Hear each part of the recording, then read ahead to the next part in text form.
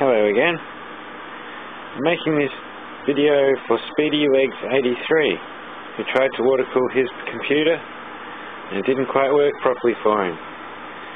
So I'll show him how to do it properly. I've set my water pump on the top of this unit because my case is too small to put it inside. We have reservoir pump pipe coming out goes into the CPU, comes out of the CPU, goes down to the bottom here into the GPUs.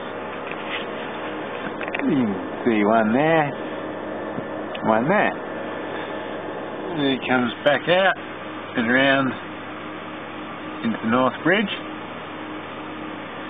and then out from that up into a heat exchange coil and then from there back into the reservoir.